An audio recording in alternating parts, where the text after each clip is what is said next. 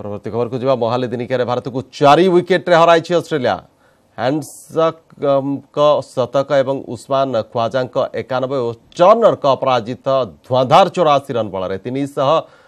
अणसठी run रक्ष्य को सहजे हासिल करस्ट्रेलिया विजय सहित अस्ट्रेलिया सीरीज को दुई दुई स्तर को आनीपारी पूर्वर भारत प्रथम ब्याटिंग कर शिखर का शहे तेयास रन बल में तीन शह अठावन रन कर कि बोलर निराशाजनक प्रदर्शन दल को भारी पड़ी